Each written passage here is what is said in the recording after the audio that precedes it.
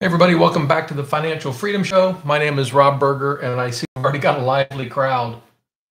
I've all, uh, unbelievable the questions. I love it. Okay, uh, so appreciate a thumbs up if you can hear me, and um, just a couple of normal announcements. If you want me to cover a topic, tag me in your chat comment.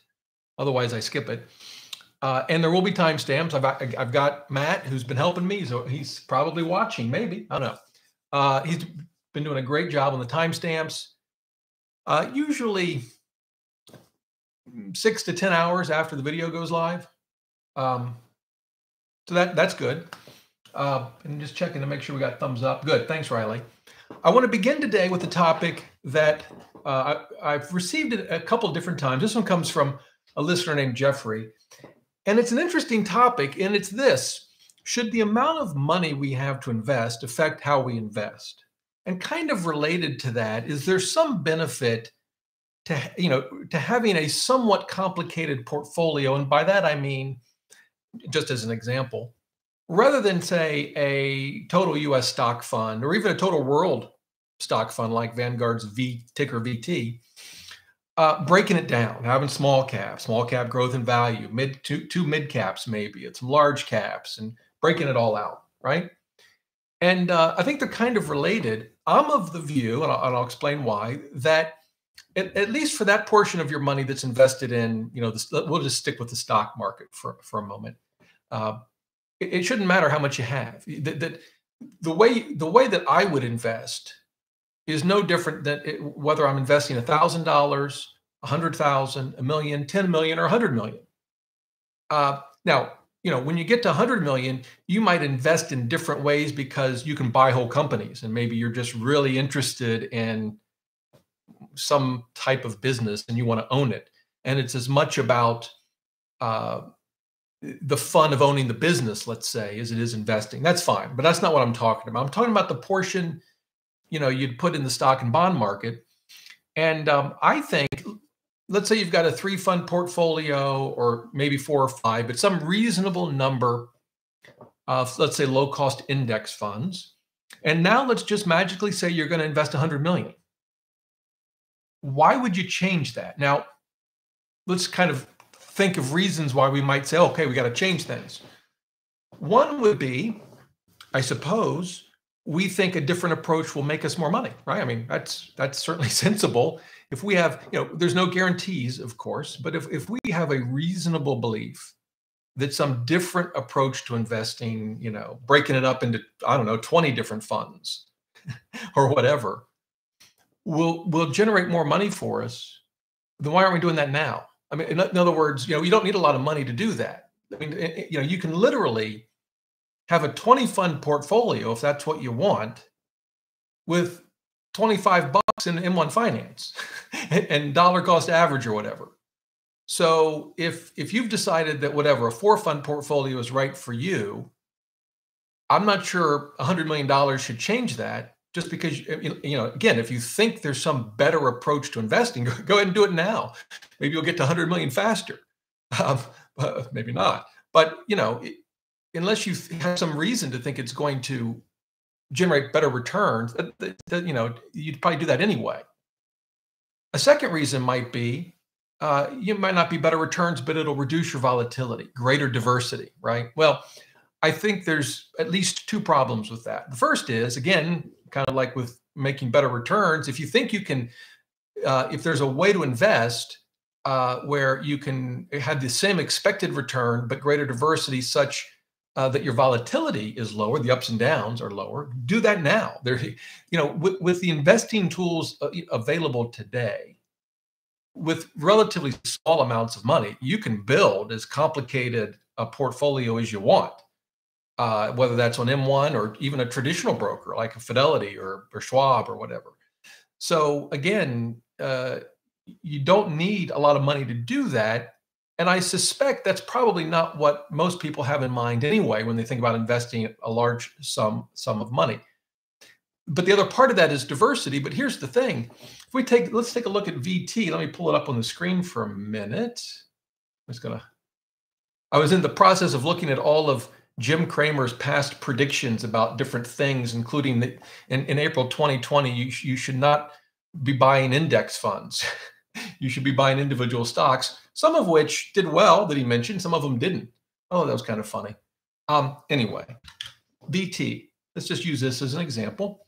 So here it is in Morningstar. So we're talking about diversity, right? Well, this owns, as, as you probably know, international and U.S. stocks, right? Uh, it's just one fund, but that's really doesn't tell us anything. The number that's something to keep in mind. The number of funds in a portfolio tells you nothing about its diversity.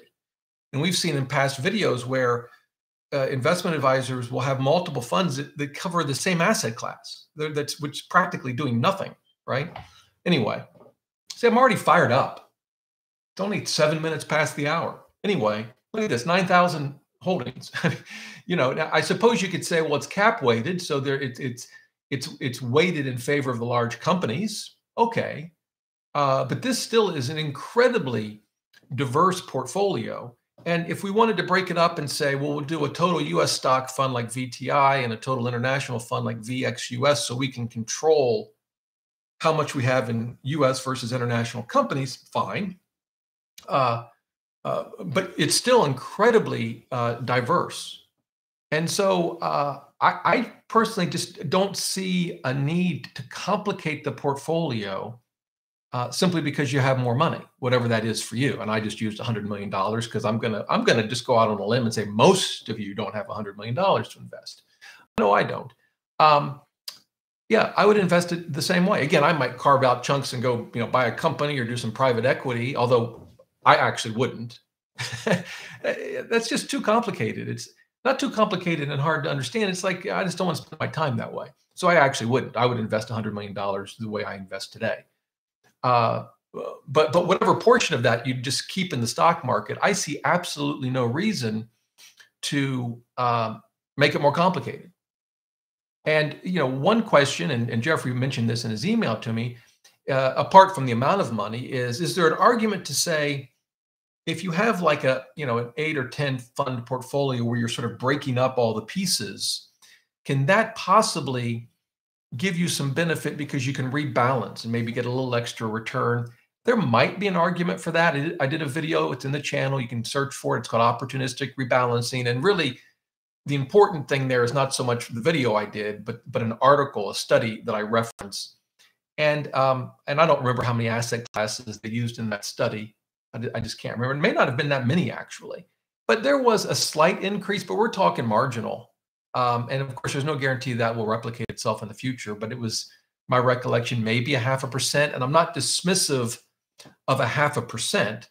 Uh, uh, but you know, you just got to keep in mind that involves a lot more complexity. They were talking about examining the portfolio like every couple of weeks or every 60 days and then you've got tax issues and so it's you know it's not as simple as just snap your fingers and let's just do opportunistic rebalancing so that's my take i really don't believe that the amount of money should change how we invest and i'll, I'll tell you though uh, advisors uh, well they they by and large think we should be complicated regardless of what we have i had a, a viewer email me the other day um, i think it was Primerica, but i may have that wrong they had them in 35 funds and they wanted to add more. It's like, are you kidding me? Um, when when I had some money to invest after I sold a part of my business, I talked to an advisor, and I, I had no plans of ever hiring them. Um, but I had a phone call, and they wanted to put me in all kinds of complicated stuff, expensive non-traded REITs, uh, the, a black swan portfolio that was supposedly could predict the unpredictable and then protect me from it. Um, and it was just it's just nonsense. Um, so that's my take. By the way, feel free to disagree with me. Um, just, you know, kind of be nice. Maybe. Anna.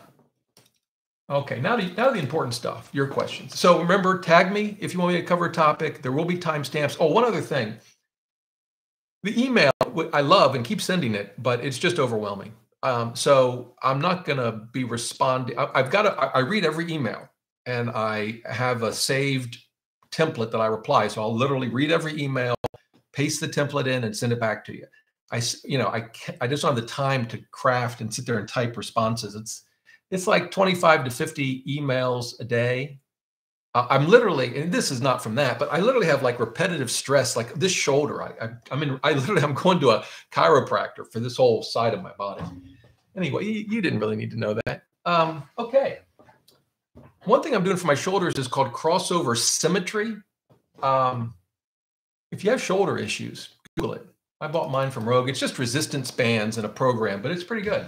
All right, enough of my physical ailments. Anna says, I would like to increase my bond allocation as it is now at zero. All right, well, you can only go up. Well, I guess you could short it, go down. But anyway, what metrics, yields, events should I pay attention to to decide when to buy? So there are two there are two approaches to investing. This is true with bonds, it's true with everything. Well, there, no, there's there's three approaches, I think. Uh, one approach is to look at valuations. This is the Warren Buffett approach. He's going to invest in something if he thinks it's a good value. That's it, right? Is it is it trading at or below its intrinsic value, and is it a good whatever? He's invested in bonds and preferred stocks, and so he would just do an evaluation. Um, my hunch is, based on what he said, uh, that at present he wouldn't buy, he wouldn't invest in bonds. Now maybe there could be some high yield opportunity, and he's evaluated the balance sheet of the company I don't know. But by and large, he is staying out of bonds as far as I know. I mean, he has short term, like treasuries, just to hold cash. But so that, but that's one approach. It's just based on valuation. And right, as we all know, bond prices are very high. Um, another approach is kind of what you're alluding to, Anna, and that is sort of read the tea leaves. Get, get out your crystal ball. Which way is the market going to go? Maybe do some charting, some technical analysis. What do you think the Fed's going to do? Uh, I'm not a believer in that approach. I don't think most people, most of the time, can consistently um, build wealth that way. You might have some big winners, but you're probably going to have some big losers too. Uh, and in my experience, trying to predict the interest rates uh, uh, and what the Fed's going to do, I mean, they, they, they've gotten better. I'm not sure this is a good thing of sort of projecting what they're going to do. Uh, but even that's changed, right? I mean, at one point, they weren't going to raise rates till, was it 23? some ridiculous number. This was like a year or two ago, and I'm thinking, how can you make that that that commitment? And and they're not. They're going to raise rates. Uh, they say say they are this year. So I'm not a big believer in that at all. And then that leaves us with the just sort of dollar cost average. Buy into a bond fund could be a total U.S. bond fund like BND from Vanguard. Uh, you know, you could mix in some tips. Um, you know, if it's in a taxable account, you can consider municipal bond funds, but you just sort of buy in as part of your regular contributions, whether it's through a 401k at work or an IRA or a taxable account. And you kind of do that the same way with stocks, and you don't really look at what's going on. One of the interesting, by the way, that's my, well, I use sort of the Warren Buffett approach. Well, that's probably giving my approach way too much credit. I try to emulate Warren Buffett for my stock portfolio, but everything else is just throw it in there and, and just, and then just chill, right? Uh, but but one thing I've been thinking a lot about, you know, I showed you VT on the screen a minute ago. That's just you know one fund, and you've got all all your stocks throughout the world. And I thought about, well, I don't use that. Uh, uh, I don't think it's a bad fund at all. I think it would be a reasonable approach. I don't use it, and and it, most of the people that I've dealt with, and I get dozens of portfolios sent to me every week from you guys. I don't think I've ever seen someone with VT in their portfolio, maybe one time. And I thought, well, why is that? Um, now, one might say, well, you know, I don't like the U.S. versus international allocation, and I've decided that we, it has to be different. That would probably be my my answer. I'm not sure how wise it is, but that's probably my answer. But I think there's something else going on, and it has to do with the difference between. This is going to sound odd, driving a car and taking a plane. I'm not afraid of flying. I've flown, I don't know, 500 times, a thousand times. I'm not sure, a lot. Uh, but you know, it's still, even after all that time, and I've been through some turbulence, it can be a little nerve wracking from time to time. Uh, but driving a car, you know, you just get in and you do it. Now, part of it is because you drive a car every day, and most of us don't fly every day. But I also think, and this is going to get us back to VT and the point, is when you're driving, you have control, or at least some measure of control. And when you're in an airplane, at least unless you're the pilot, uh, you have no control. And we don't like that.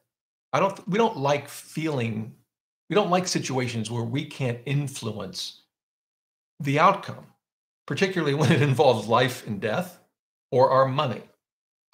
and I think there's a sense that with one fund like VT, um, and maybe a target date retirement fund is another example, perhaps. We don't feel like we're influencing the outcome much. We don't have any, eh, that much control. It's like we're just boarding a plane and hopefully it lands us safely in retirement. But if we have three, even just three funds or seven funds, or we, we complicate it a bit, it, it feels like we now have more control. We're, we got a hold of the steering wheel, right? And I think there's part of me that would that that accurately describes. Um, yeah, I'm not sure it's a good thing. the, the, the, control is a two-edged sword. Anyway, um, all right, Jay. Uh, and by the way, I think it's at, I don't know if it's it's at Rob Berger. Uh, some of you have just put at Rob, but I see it, so it's okay. But if you put at Rob Berger, it actually lights up orange. All right, but I, I see the ones that are just at Rob. I think one of your old videos says lump sum is better in general than dollar cost averaging. Yes, it does. What about in today's context? See, and I think I said that in the video, but the studies say that throwing it all in versus say dollar cost averaging over a year or, or whatever, it, in more more is more likely than not to be the better outcome. And we can understand that conceptually because in most years the market goes up, right? And we can I can show you on the screen here. SP 500 returns by year. I think we get this one site that I've shown you before. Here it is. Yeah. So here are return. These are, I think these are just price returns. I don't think they include dividends, but you know, um, this goes all the way back to 1926, 28. Um, there's more green than red, right? So, you know, in, in, in most of the time, dollar cost averaging will underperform lump sum investing in, in all times except when it doesn't. And there's no way to know ahead of time. You know, we look back at the chart. You know, at the start of at the start of 28, I don't know if it's going to be green or red, right? Same thing with every year. So, but as as as Jay you point out, does that factor in the the, the price level, the valuation level? We could think of the Shiller, the the the, the PE, the um, you know, the cyclical PE that looks at 10 years worth. I can show it to you. uh, PE of SP 500. I think it's the first site that comes up. Yeah. And if we go to, I think it's down here, the Shiller PE. Here it is. I don't know why my screen is like. Okay. So there's the Shiller PE. It's based on sort of a 10 year adjusted earnings. Um, and so one thought, and this is I think what Jay is getting at, is not every year is created equal. In these years where the valuations, that's Black Tuesday, 1929, um, this is the tech bubble, this is today. Uh, in, in, these higher levels, uh, is it more likely than not that maybe dollar cost averaging would perform better than than lump sum? Well, I have not yet found a study that actually answers that question. Maybe it's out there. I can't find it. Con- just from a conceptual perspective, it kind of kind of makes sense to me. Um, so you say, well, then Rob, what would you do? I'd probably still just put it all in, or or if I did dollar cost average, it'd be pretty quick. But but you know, until you're in that situation, you don't really know. And I'm not in that situation. In 2018, I put it all in. Um, in 2018, you know, if we go back to the screen in 2018, plus I can drink my tea without you seeing me, uh, you know, it was still pretty high and I put it all in and it worked out. So, you know, shows you what I know. Well, I guess that does. I got it right, but I just, you know, it wasn't because I could predict the market, that's for sure. Tim says more and more people are leaving the transitory camp on inflation. I, I think that camp is all but abandoned. I think they tore it down. Uh, if you started investing today, all cash now, what would you invest in, if any, to protect from inflation other than tips? So there again, I would just it, it would be the no, normal approach, same approach I have now. Um, short term stocks can really get get hammered, but long term stocks are actually a great investment um, uh, in, in inflationary periods. Um, you know, because companies, you know, yes, expenses go up, but they can raise their prices you know, bonds, except for tips, as you've pointed out, are stuck at whatever rate they're at, and so inflation is going to eat away at it. So, uh, I would not personally change my approach um, because of my expectation of inflation, or even if I knew inflation was going to be whatever, average 5% for the next five years or, or whatever. Um, you know, if we have runaway inflation, I don't know. Um, I guess I'm spending all my money as quickly as I can. I'm not sure.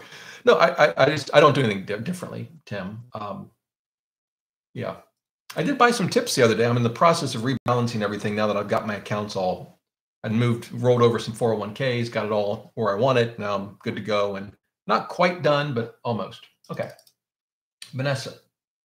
Uh, if you are a short or mid-term in, in investor, you may not you may not get the hit, but if your horizon is long, the chance is you'll get you'll get hit. I'm not sure what that question means. So I'm to have to pass on that one, but happy to try it again if you post it again. I'm just not sure. Okay. Alex, some people say growth tech stocks are cheap or even value now. Hmm, would you agree? No, I would not. What indicators can we look at to confirm or refute if before investing in a small cap growth? So conceptually, let's put aside value and growth for a moment. Um, conceptually, the question is let's and let's think about it like we're going to buy the whole company, which is how I think if you're going to evaluate individual stocks, that's how I think you should evaluate it. So you buy all of Amazon or Apple or Tesla or whatever so you're the you're the owner. It's gone private now. You own everything. Uh, and if we were going to buy a company like that, what would we do? Well, we'd be scouring the financials, talking to management, understanding the cash flows, how much of the cash flows have to be reinvested in the company just to maintain its current business. What uh, areas are possible for improvement or you know additional new investment? You know, uh, like Apple in, in a car if they're doing that, or Facebook and the whole metaverse, although they're in free fall today. that's a different story, right? And and and, and then what, what would be left over for me, the owner? You know, what, what kind of dividends? We talk about dividends, what, right? What kind of cash flow could I take out of the business? And um, we would do an analysis like that. No different than if we are going to buy a laundromat down down the street. And at the end of the day, we'd come up with okay, it's going to cost us for every dollar we we put into this. Um, in year one, and then we can project as best we can, we're going to get some money back, right? Um, we might not get it all back in dividends. We might choose to reinvest some of it into new areas of the company. Fine. Maybe we invest it all into new areas for the company. Dividends really aren't the point. It's really what cash is left over after we reinvest into the company just to maintain the current business. And so, so for every dollar, I don't know, let's make up a number. We get 10 cents. All right. So we evaluate that. Is, is that a good deal or not? Some people talk about, well, what's what's your cost of capital? Um, I kind of agree with Warren Buffett on this that people don't. The whole concept of cost of capital is kind of. I mean, they treat, treat it, treat it. They teach it in business school, but it's kind of nonsensical. Really, the question you're asking is, do I have a better investment?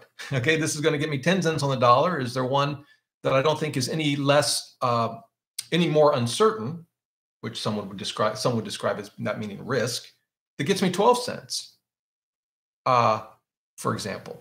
And um, and so that's sort of the the uh, uh, uh analysis you do. And and typically growth stocks uh, are very expensive, meaning they're gonna they're gonna return a lot less than say value stocks, right?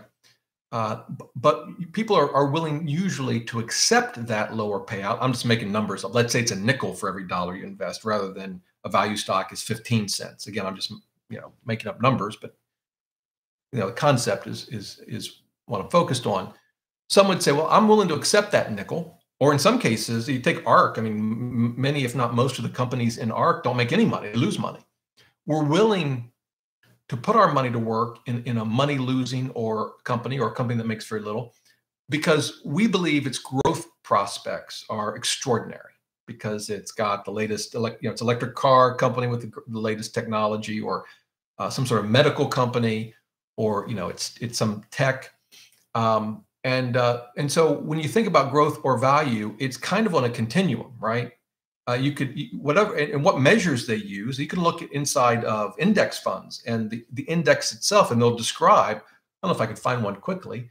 Let's see. Um, S&P 500 value index. Let's just see if we can describe it. I can tell you they look at things like um, the PE, price to equity, price to book, which is net worth, right? Price to sales. Oh, here we go. Here's an example. So this is the S. So this is not. Uh, this is the S and P, the Dow, the, the S and P G, S spglobal.com website. So this is not. This is the index itself. They're giving you information on, right? And then, then you can have ETFs or mutual funds that track this index. Okay, but uh, right here, let me see if I can make it a little bigger. I don't know, maybe, kind of. We measure value stocks using three factors the ratios of book value, earnings, and sales to price. Well, there you go. There were the three. S&P style indices divide the complete market capitalization of each parent index into growth and value segments. And so that's what they use, uh, Alex, at least this index. There could be other value indexes that maybe look at something else. Um, and it's all in a continuum, it's all relative. So you could put all the companies based on these uh, metrics, book again, book value, earnings, and sales in relation to price. And you say, okay, everything on this half is value, and everything on this half is is growth. Um, so when you look at a specific stock, like like um, I don't know, Amazon, a growth stock, I don't know, uh, they are almost universally on the growth side. Are there some uh, tech companies that were growth that maybe fell so much uh, that their value? I mean, I'm trying to think here. Zoom's fallen a lot, right? Is that right? Maybe I'm wrong about that. Hang on, I'll show you the screen in a second.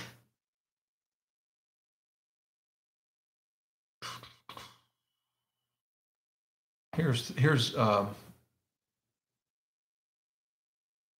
Uh, oh, this is the old stuff. I don't remember where. They might not tell you that. No, that's not it. It could be. Let's go to valuation. This is still not what I'm looking for. In any event, it's possible that there are some uh, tech stocks that have gone into value, but I, I would say generally no. Let's take a look at ARK for a second. This course is a, a fund, not an individual company. Um, but if we go to the portfolio, it's fallen a lot, right? I mean, it's down. It's uh, it's fallen by like half, right? And it, look, it's still way out here, according to Morningstar. Um, you know, we could go to let's look at QQQ and go to portfolio you know, so you have to under. So yeah, it's it's not as much in the because Ark was out here, but it's still growth. So, um, you know, I know Cathie Wood at one point said her companies are in deep value. She may view it that way, uh, but they're not in uh, value stocks by any traditional measure. I think I don't not that I would speak for her. I think her explanation of that kind of comment would be we think these companies will do so well in the future that their valuations are just going to go right through the roof. And so, by at today's prices, she's in effect comparing today's prices uh, and metrics with what she thinks the future will be. Yeah, I, I think I personally don't think that's a, a a a reliable way to invest, but she might prove me wrong. So anyway, Alex, yeah, I don't think most tech companies, at least the big names, are in value territory. Sorry if I went down a rabbit hole. Yeah. Um, Greg, newish to investing. Well, welcome. Much expert talk that this is the year where you can't ETF it. Almost sounds like a dirty word. Um, are you going to have to pick? Oh, you're going to have to pick individual stocks because indices will make huge intra movements your opinion on the validity of this argument, uniqueness of this economic time in terms of passive versus active investing, and if at all valid, how would you approach the markets? Here's what I don't get, Greg. I've heard this kind of argument many, many times, not just now. Um, and you, you always hear this this thing about index funds, and let's say that we'll just use the S&P 500. Over the long term, it's returned blah, blah, blah. If you just put money into it and you just left it there and went about your business in 30 years, you'd be wealthy. And we look at all the historical data, and of course, it's true. But then when we get into a time of uncertainty, like now, it seems like that goes out the window. Um, and I talk to good friends that they have their trailing stop losses and their puts, and you know, and I'm like, really? I mean, don't you look at the historical track record and the fact that virtually no one can peg the right time to get in and out? You just can't do it. Um, so that probably gives you an indication of my answer. I own individual stocks, but it's just a few, four of them. I've owned them for about 10 years now, or at least the oldest one, Apple. Um, but that's not going to change. And the vast majority of what we have is in low cost index funds. Um, and that's not going to change. And part of the bargain, part of the deal is we're going to have bad years. I think if you're new to investing, you said you're newish, the problem you've got is this right over here. This is very unrealistic.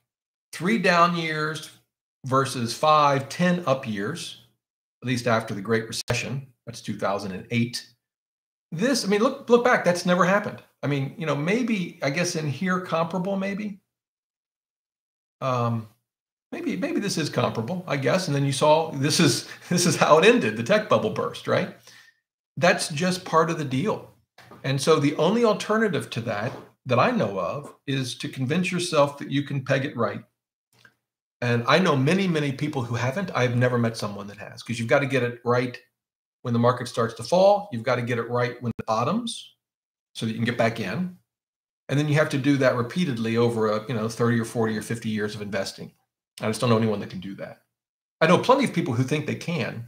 I was listening to an ad for Fisher Investments. I, I mean, I wouldn't give them my money if my life depended on it. Okay, well, maybe if my life depended on it, I would, but I wouldn't be happy about it. I can tell you that right now. And there, you know, we we we moved to address the markets and we repositioned, and I'm like, yeah, that's exactly what I don't want, and particularly with your fees. Okay. Zod, have you ever considered investing in EV technology or manufacturers besides Tesla, like QuantumScape, Rivian, or many others out there? I did. I considered it for a couple of days, and I concluded I don't know enough, which is to say, I don't know really anything about the electric car market. Uh, I could try to educate myself, but I, I just don't. And valuations seem insane to me. Uh, uh, and, and many of these companies, like Rivian, for example, I mean, has it even sold a car yet? I don't think it's made any money, right? Uh, and and that's just not how I invest. Uh, some people might, you know, we can always look back at companies like Amazon when it wasn't making anything and say if you'd invested X, you'd had, you know, you'd, you'd be a, a trillionaire. Um, yeah, it's not making any money, right? Just making sure here. Yeah. I mean, I, when I say it's not making any money, I don't mean it's losing money, which of course it is. It's not even making a dollar of revenue yet. So, Zod, I just concluded that's just not how I invest. It's not what's worked for me. So, yeah, I I didn't invest in any.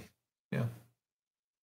Dan, with so many working from home uh, because of COVID, versus traditional offices and the downward trend of malls and brick and mortar star- stores are REITs and REIT ETFs still good for IRA portfolios? I think so. And it's an interesting question. And it was a concern of mine for all the reasons you said. I mean, my childhood mall on the west side of Columbus, it's awful. There's this, have you guys seen the site, Dead Malls or something like that? What's it called? Oh, it's deadmalls.com. Let's see if I can search for my old mall. It's a, it's just a train wreck. Can you search? I don't know. Maybe you can't. Anyway, yeah, it's it's shuttered. Um, but okay, back to REITs. So um, let's look. Let's do. Let's look at the Vanguard REIT. And what I want to do, I don't know if it'll show you. This we're looking at VNQ. It's the it's the uh, ETF version. Um, so the thing to keep in mind is there are different kinds of REITs, right? Like there's a mortgage REIT that owns mortgages, but a lot of these REITs, you can think of REITs as like maybe they own cell towers, right? Um, let's see if yeah, I mean, they give you descriptions, but that doesn't. So hotel and resorts. So I think long term they're going to be fine. Obviously, they've been hurt uh, during COVID, um, although it's coming back. Healthcare, obviously, still, you know, all as important as ever. Industrial is important as ever. The office could hurt us, uh, I guess, um, six and a half percent, right? Um, but I thought there might be, like, here's American Tower Corp, right? So um, this is a perfect example. Let me go to Morningstar, or let me just Google it. American Tower Corp. It's a REIT. Let's see. Oh, here it is. All right. See, this is what they own. So uh, uh, there are different kinds of of REITs, and I think so. I think generally um, we should be fine. Uh, I mean, there there will certainly be bad years for REITs, of course. Uh, and uh, but if you're talking about a well diversified REIT, I, I just have a concern. Let me show you another one. Uh, this is an individual REIT, um, and uh, I like it. I don't own it. And some say it's risky. I don't know. It's called Realty Income. They call it the monthly dividend uh, company or whatever. The monthly dividend company. That's what they call it. And you can see they, they have like Dollar General and Walgreens. So these are retail outlets, of course, uh, but ones that are going to obviously do just fine, I would think. Um, so yeah, I'm not I'm not overly concerned about REITs. And you know, actually, last year REITs outperformed the S and P 500. I think mine returned was it 36 percent. I'm probably making that number up. What did what did Vanguard ETF return last year? 40, 40%? Wow. Last year, the Vanguard REIT, here, here I'll just show you because I don't even believe it. And I'm looking at it, re- returned 40%. Now, this year it's down so far. I have no idea why. Uh, maybe because interest rates have gone up. They're sensitive to interest rates. Um, so, you know, but that obviously was in the middle of COVID. So, you know, this year it's down. That's, that's what it does, fluctuates. But I'm not, Dan, I'm not too concerned. I, you know, it, I haven't gotten rid of my REIT. Uh, it's 10, 10% of our allocation. Ramon says, I'm investing in VGSH and VTIP instead of having cash. All right. But these funds are falling every day because of the fears of interest rate. Is it better to have cash this year? Well, the first question I ask is uh, what I want the cash for, or what, like what's it what's its purpose? If I need to spend it, say in the next year. Yeah, I'm not going to have it. These are, I think these are both intermediate term. Let me just make sure. No, no. The first one's short term. VGSH shouldn't be losing that much money. It's a short term treasury. I mean, it may have lost a little this year, but it shouldn't be that bad. Let's take a look. Yeah, it's down 0.7%. I know it's just one month, so that's a lot, I guess. Um, but that that one I personally wouldn't be scared to own, even if I needed the cash. Well, not if I needed it right away, but if I needed it in a year or two. It's got a very short duration. Um, the other one is a tip, right? From Vanguard, and it's short term as well. This one I would have thought would maybe go up this year. That's down 78 bips. So um, I don't. It'd be interesting to see how it, it goes for the year. I mean, these are both short term, but but but what I was going to say is, if this is just part of your overall asset allocation, I would figure out what your bond strategy is. Doesn't have to be complicated. It could just be a total U.S. bond market or bond market plus tips or whatever. And I, as I mentioned earlier, I just stick with it. That's that's what I do. Um, but if you're going to need the money, you know, the safest thing, meaning the thing that where you won't lose money, you know, is to put it in an FDIC insured, maybe online savings account. But I wouldn't personally, I wouldn't do that if it's part of my long-term investment portfolio. Scott says, regarding index funds, since it is passive, who changes the percentage of net assets in individual stocks in the fund's portfolio, or does the net asset allocation change at all? No, it definitely changes. As companies rise and fall, and their value, you know, their values go up and down because each company, uh, this is in a cap weighted index fund, which most of them are. the percentage that the fund owns of that company will, will change. And so there's definitely changes. Uh, you know, and, and in fact, you can see it when we look at what the top 10 companies are that change over time. I mean, you know, years ago, you know, probably well, let's see, let's see who the top 10 are. Top 10 companies in the S&P 500.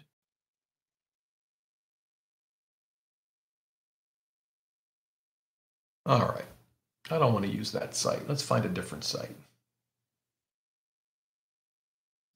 Let's see what this looks like. Okay. So here they are. I mean, you know, it wasn't that long ago, you know, less than fewer than 20 years ago, Apple wasn't even in the top 10, right? Um, Coke used to be in the top 10, General Electric, you know. So as as the companies prices go up and down their values, right? They're going to change their order. Uh, they could fall out of the top 10 and their influence on the S&P 500, you know, will go down as they fall and go up as they rise. And, you know, Bank of America, I believe, used to be in the top 10. Of course, Exxon did. I think Home Depot was at one point, I think. Um, IBM was. And look, if you think about that, IBM was. They didn't get, did they get removed? They didn't get removed from the S&P 500, did they? Or did they? I can't remember. They must have, because I don't think they'd be this far down. Oh, that's interesting. Maybe they did get removed. I can't remember. Anyway, yeah, so it, it changes. Andrew, congrats on your chess tactical score. Thank you. It's about time someone acknowledges, I don't know, my chess playing prowess. I think it's it was it fell back. No, it didn't fall below. It almost fell back below. Let's see. It's 30 20 right now. Okay. Uh, mine's nowhere near. What do you think of FLCOX to tilt a portfolio towards value? I have no idea. Let's take a look.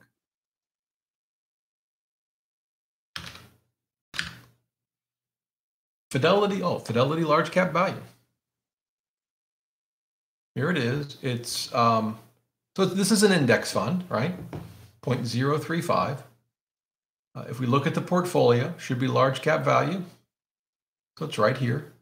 You can see its PE is around 16 and a half. The S&P is around 21. So that would be a difference. And you can see the difference when you go to the portfolio because, right, there's no Apple, there's no Microsoft. I mean, they may, I doubt they have it in there at all. Um, you know, no uh, Amazon, no Meta. And instead, you see a lot of financials like Berkshire, Morgan, um, and, and healthcare, right? Uh, Bank of America. There's a Cisco. There's a there's a tech company for you that's that's value, but probably not for good reasons. Um, uh, I think this is a perfectly reasonable, low cost way to get value. Not not the only way for sure, but yeah, I like that fund. VJ from Michigan, welcome back. Good morning, Robin team from Ann Arbor. You know, you always mention you're from Ann Arbor. I remember that you're from Ann Arbor.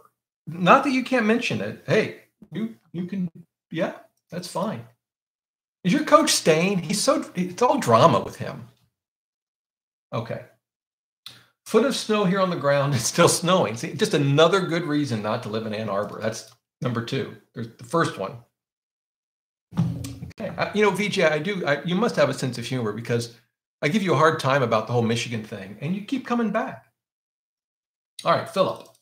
I happened to find your old video regarding the brain and obsidian. Yes, fascinating. Do you still prefer obsidian? If so, maybe an updated video. So um, I probably now use the brain more than obsidian, um, but I like them both. I can do an updated video. Happy to do it. Joel, new investor here. Really appreciate all your helpful content. Can you talk about growth versus value versus blended funds and how why you would choose one over the other. Okay, so conceptually, and we'll actually just use this Fidelity fund. So this is the, the Morningstar style box, the tic-tac-toe box. As the, the column, the row headings tell you, if the dot is in, it seems so kind of, if, if, if the dot is in the left-hand column, that's value. If it's over here, it's growth, and if it's in the middle, it's blend. Okay, great, but what does that mean? So again, growth would be a, we saw earlier how they measure it. And not every index um, or website measures it exactly the same way, but it's usually based on a comparison, you know, of earnings, book value and sales, and other things perhaps to the price. And so, um, if it's a growth company, and this, these would be companies that are, are growing faster than average, growing their business in some way, and as a result, investors, at least some investors, are willing to pay more. Uh, that ends up having you know higher valuations on a PE or price to book basis. So that's that's growth. So you can think Amazon, well, Meta before today, but probably Meta, Tesla, Apple, right? Uh, and then value would be companies that aren't growing as quickly, but uh, to make up for that, the prices relative to earnings and and, and book uh, net worth and everything are much lower. And so you can think banks, you know, Berkshire Hathaway, Johnson and Johnson, a lot of old older companies, most of which pay dividends, although Berkshire doesn't, and that's value. All blend is is kind of a combination of the two. You put them both in the blender, you, mm-hmm. and then you've got a blended fund. So an S&P 500 or a total U.S. stock market is a blended fund. I can show you on the screen. We'll do um, we'll do VOO, which is Vanguard's S&P 500 index fund, and we'll go to portfolio. I think it's tilted towards growth a little bit right now. Yeah, but it's in the blend column, right? It's got a little bit of both. Uh, and the same thing if we looked at total total stock market. Go to portfolio. Probably not quite as much growth well, maybe, but anyway, it's in the blend blend box, right? So my way of thinking about taking that information and actually doing something useful with it would be that for the core of my portfolio, I want to blend. You know, I don't want to I don't want to bet on value or growth. I just kind of want a little bit of everything. So for me, it's a total stock market fund. I think the S&P 500 is perfectly reasonable choice. In a 401k, you might have one or the other. I wouldn't lose any sleep over it. It's happened to me before. I picked whichever one I had. Uh, if you want to tilt one way or another, I think that's perfectly fine. Uh, I've historically tilted towards value. So, what does that mean in terms of actually building a portfolio? Let's imagine you've got a three fund portfolio. It's going to be 10% bonds, we'll say 30% international and 60% US. Okay. So, if you weren't going to tilt it all, you could just take that 60% and put it in a total stock fund, right? Total US stock fund, VTI or whatever, VTSAX. If you wanted to tilt one way or another, uh, my approach is always to tilt by 10% chunks. So if I wanted to tilt, let's say, um, in my case, it'd be more likely small cap value. Then I'd leave 50% in in the total stock market fund or S&P 500, and I take 10% and put it in a small cap value index fund. That's what I usually do. You know, you may choose for you maybe you like tech stocks and you want to do large cap growth. I personally don't think now's a great time to do that because valuations are really crazy. That's just my opinion. Does, doesn't mean they won't go up. Uh, but yeah, so that's how I would tilt it. I would take 10%, let's say, of my 60% allocated to US stocks. I, I take 10%. So on a $100,000 portfolio, instead of 60,000 in VTI, I'd have 50. And I'd take 10 grand and again, put it in whatever tilt um, I was going to do. And I've done that for years. Uh, that's kind of how you create a four fund or a five or six fund portfolio. You carve out a chunk and you put it in small cap value, for example. Um, you may car- carve out a second 10% and put it in REITs. You may take the 30%, I'm just using those numbers as hypothetical, but the 30% that's inter- international, carve out 10% and put it in emerging markets, which is sort of a subset of international. Yeah. So that's how I think about it.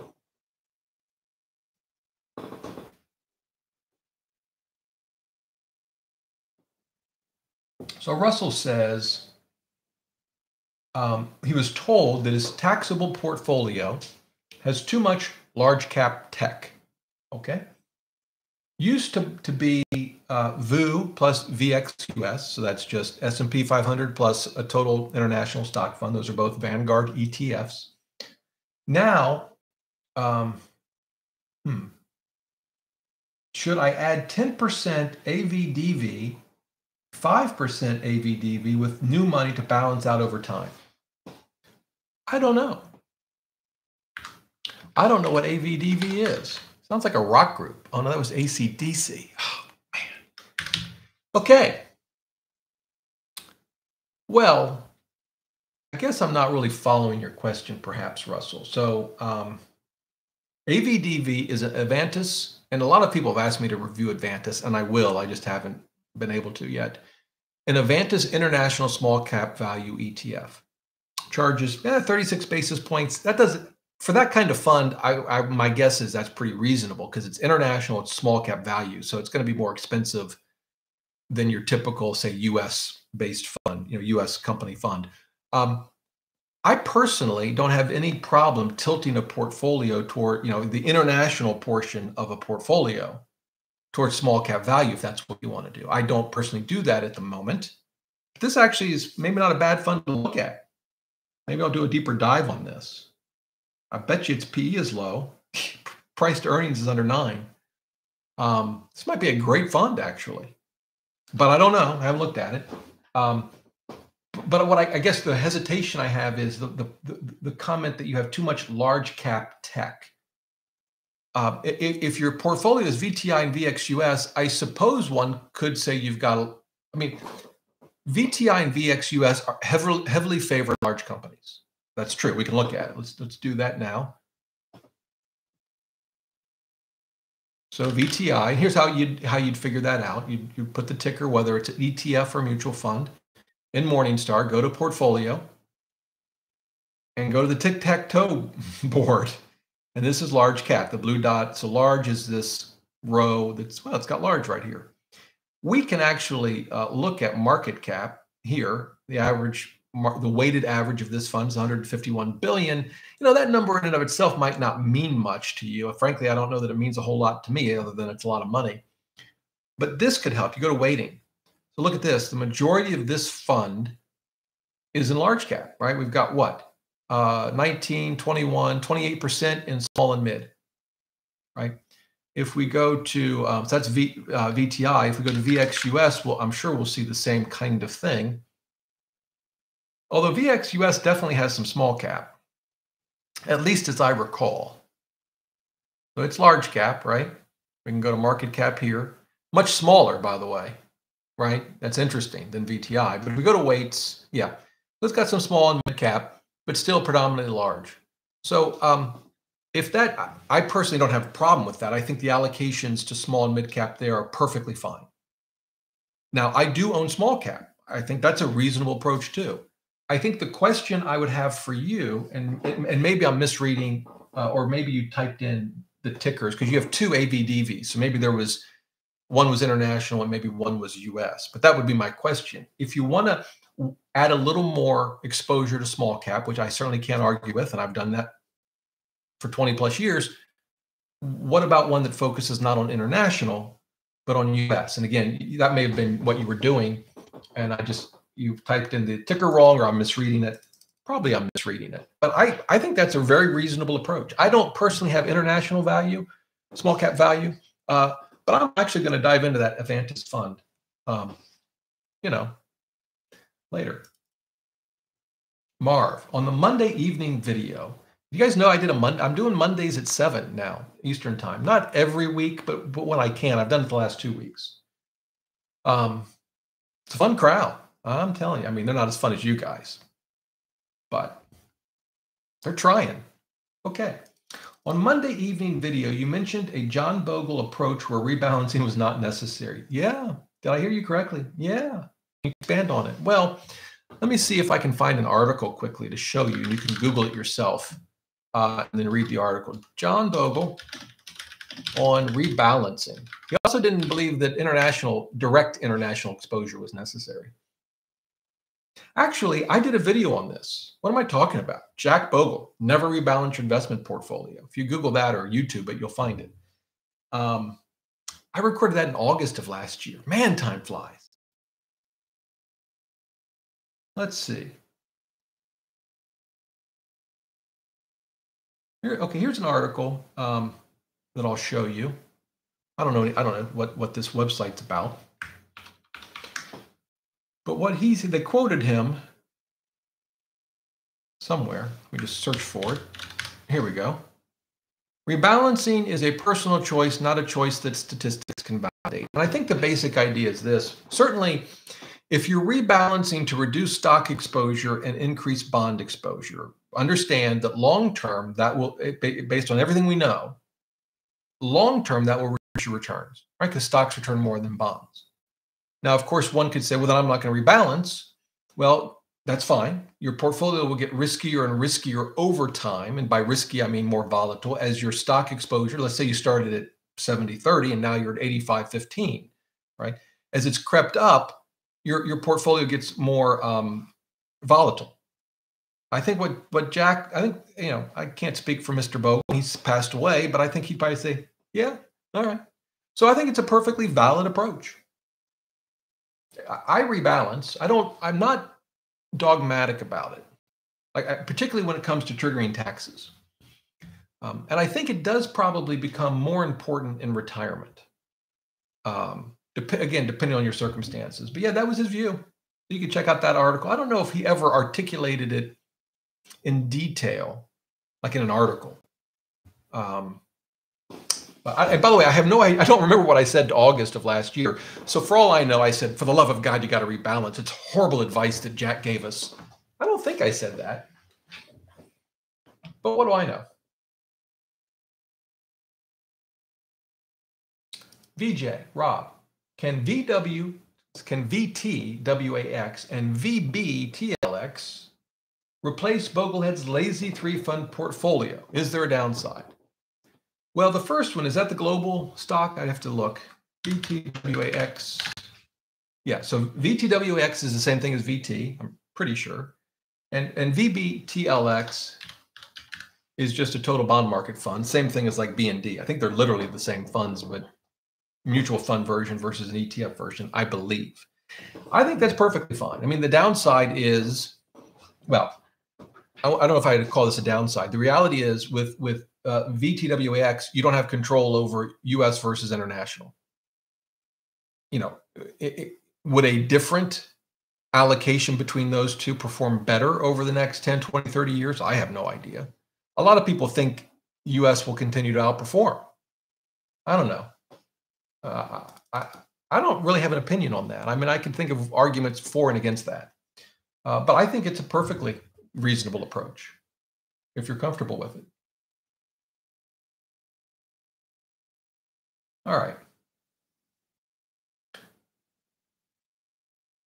Patrick, how do you deal with financial anxiety? Did you hear my story the last time someone asked me about financial anxiety? Tips on how often to check or not check portfolio balance for someone in their 40s. Well, I tend to check my portfolio every day the market's open, but but it's more because for me it's fun. Um, there are days if it's down big, I don't check but I might check the next day it's up. Um, but I think it's a very personal decision. It's perfectly fine for you not to check it. Check it once a year, right? I mean, that's what many would suggest. Certainly, if checking it causes anxiety for you, I wouldn't be if if if, if checking it caused me anxiety, I would not be checking it regularly.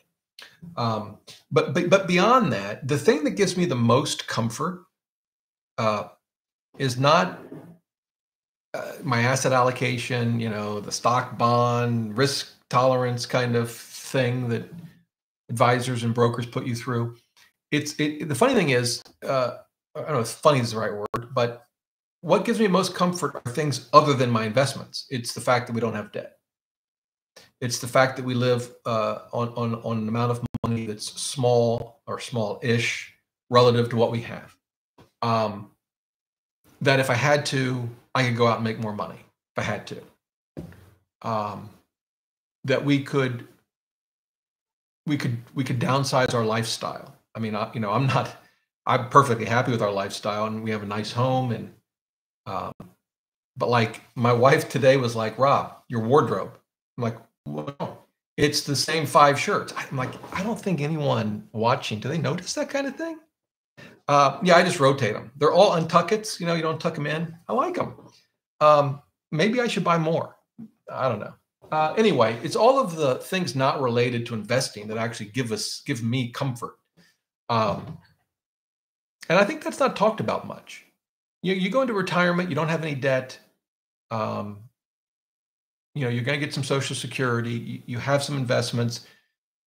You know, you may or may not be living the life you envisioned 20 or 30 years earlier, but you know, you're in a pretty decent place. And and to me, that's what deals with my anxiety. So I don't have any for the most part. I'm not anxious about money. I'm anxious about other things. How, let's see, Scott.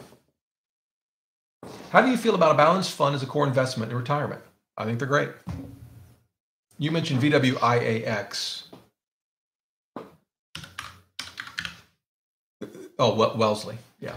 Um, I mean, you, there are a couple of things to think about. You know, you, you know, in a taxable account may or may not be the best thing. Wellesley, we mentioned, I've mentioned this, but in case there are some viewers that missed this, um, one of the things in a taxable account, you want to go to performance here and then distributions, and it shows you what they distributed for the year. And the income would be dividends and uh, from stocks and interest from uh, uh, from bonds. And I think they take their fees out of that too as a way to reduce taxable. I they, they must. They got to in any event. And this is short term. This column is short term capital gains and long term, and then this just sort of sums it up. But when you look at this, you know, total um, income distributed was what one, two, three fifty over four bucks. So you're talking, uh, I don't know what that is, six to seven percent of NAV um, over the course of the year. So you know, in a taxable account, that's going to hurt. Uh, I think so. I probably wouldn't own this or or most balanced funds in a taxable account. And there might be exceptions. So that'd be one caution um, yeah, you can look at their life strategy funds. I don't know if they're a little more tax efficient, but but beyond that, I I think they're a reasonable approach. Riley, how much is too much to save for retirement? I think you asked this question. I didn't get to it, or, or maybe you emailed me. Um, he's trying to find a balance with current spending. It's a great question. So there's a couple of ways to think about this you could get a, find an online retirement calculator to project what you'll need when you retire. You said you're oh you're 24, and how much you're going to need to save to meet that that goal sometime in the future. Particularly at your age, I would say those calculators are by and large worthless. There's just too many unknowns, inflation, returns, when you're going to retire, future income, um, and so you're saving so you're saving 25% of your gross income.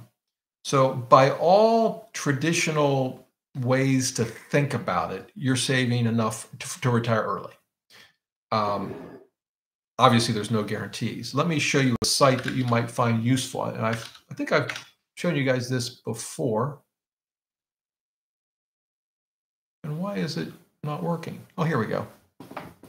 It's called Net Worthify. And what you do is you put your income in here. You said you're saving 25%. So let's just, just to make the math easier, I'm going to put in 100 grand income and 25,000 in savings. Um, this actually says 26%. So this says at that rate, using a bunch of assumptions, which you you see here, 4 4% withdrawal rate, 5% annual return, zero current balance. You might have some already saved, I'm sure. Um, but it would take you roughly 31 years to retire. Again, big caveat, you know, this is like projecting who the president's going to be in 31 years. I don't think we can do that. Um, so, yeah, but this could be useful. Uh, in terms of balancing um, savings versus current lifetime, that's always that's a tough one. I've always tried to save to me I, have always felt that one should endeavor to save at least 20% i can't uh, i felt that that was going to say either allow me to retire early or retire on time but with very comfortable retirement. That was where i drew the line. But at times we save more than that. At, times we save less than that. Um, you know the other thing is is what kind of things are you sacrificing? What, what kinds of things uh, would you like to do that you can't do right now because you're saving 25%? Make a list. Maybe try doing one or one of those things and see just how much fulfillment it gives you. I, am of the view, maybe I'm just speaking for myself, that we're not very good uh, at knowing what makes us happy. We think we do. We think we know what makes us happy, uh, and, and that we couldn't go without it. You know, if you if you have your daily mocha that you need every day on the way to work, if you go without it one day, if you're like me, man, drives you up a wall. You know, and I used to have a mocha every day.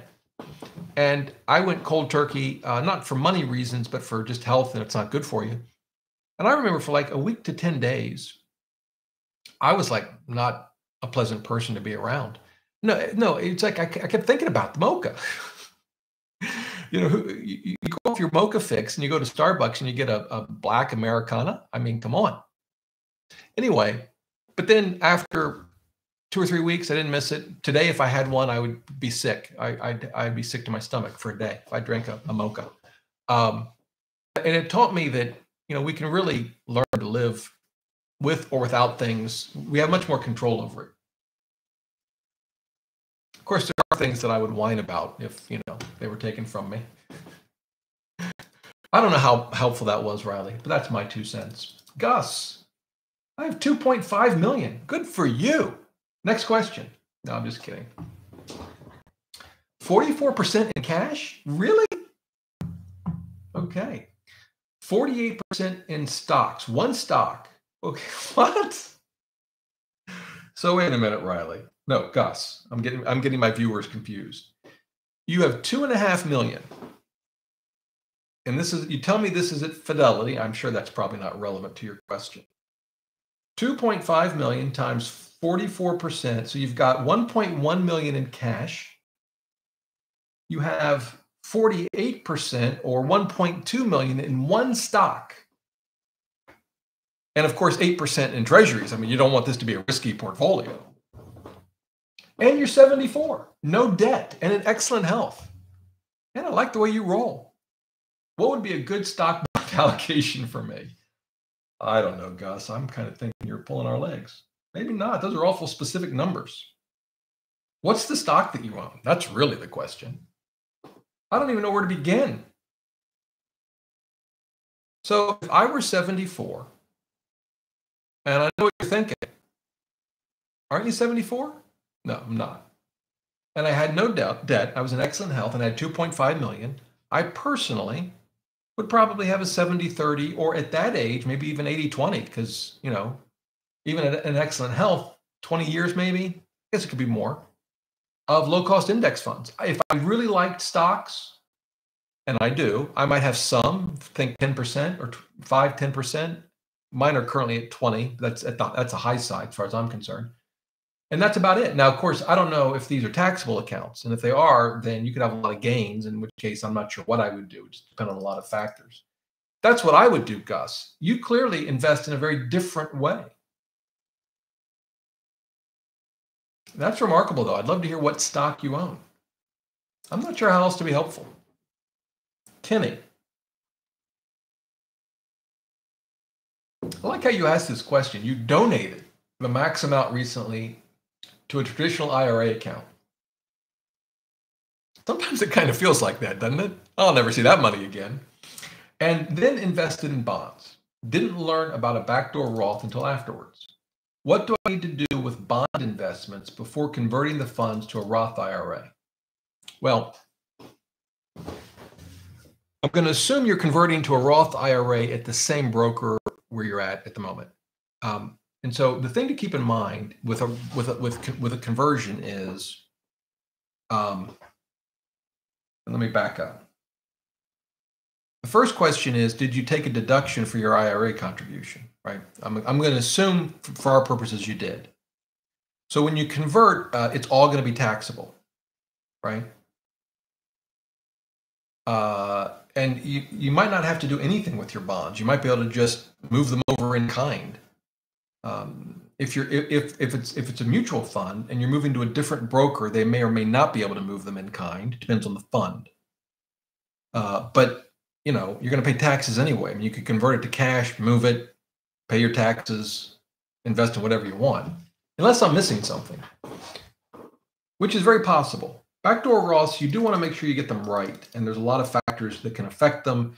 If you didn't take a deduction, then what you put in wouldn't trigger taxes. But if you have other IRAs in which you did take a deduction, the IRS groups them all together when you do, even though you're only going to convert a portion of them and does sort of a pro, rata analysis to see how much is taxable. So you really want to, unless you're confident in what you're doing, you really want to reach out to a tax professional um, to make sure. But yeah, I hope that helps you. I don't, I mean, there are a lot of caveats and talk to a professional in, in my answer, but the fact that it's in bonds, I don't think in itself, I, I can't think of any issues that would present. Philip, when you mentioned your international percentage, was that the percentage of equities? Uh, so I, I separate out my individual stocks when I do my asset allocation. And my asset allocation is 70 30. It's 70 30 in part because of the individual stocks. Because when you when I then add those back in, it's more like 80 20, something like that. So in the 70% that's allocated across the funds, uh, 30% of that of that is international equities. I don't own any international bonds. Jeffrey, glad you could join us. Casey and Nora, because you are so heavily weighted in individual stocks, have you ever considered put options on those stocks as a way to hedge? Nope. Don't feel like I need to hedge. I know they're going to go down in value, and then hopefully they go back up. And I don't want the expense of buying puts or the hassle. Am I going to buy, am I going to buy them all the time? Just keep rolling them over? Um, yeah. Nope. My good friend does. Joe, you might be listening. He buys puts, likes puts, trailing stop losses. Not, I just, it's no different. You know, this is when we, if we see buying a stock as buying a company, like, you know, you own the dry cleaner down the street, would you buy a put to protect the value? I don't think you could. I guess you could try to do something. It's got to be some way you could hedge, but you don't. You know, the business is doing well. Yeah, it's going to go down in value during a recession. It'll go back up and when good times. Yeah, I just that's how I approached the whole thing.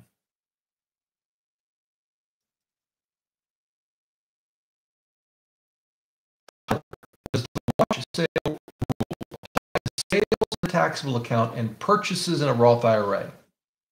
I am 99% sure that it does. I believe it does. That 1% means I could be wrong.